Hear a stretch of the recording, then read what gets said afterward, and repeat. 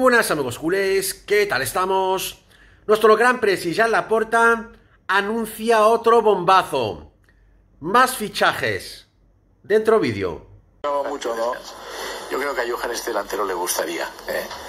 Es eh, un delantero goleador, diferente a otros que hemos tenido, pero que además con Rafinha, Dembélé, Ferran Torres, que también es un jugador para mí que tiene, tiene gol y tiene mucha proyección, Ansu Fati, todos ellos, Aubameyang, van a hacer una delantera muy...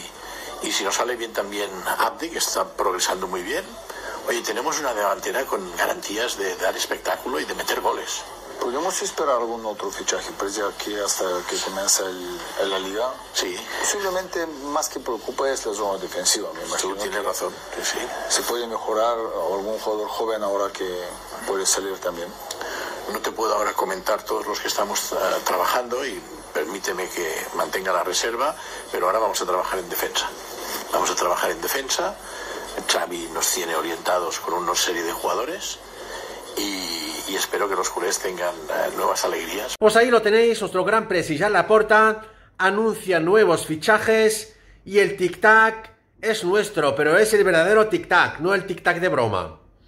Esto ha sido todo por hoy, amigos culés. No os olvidéis suscribirse a mi canal, que no os cuesta nada. Pulsar un like, como siempre.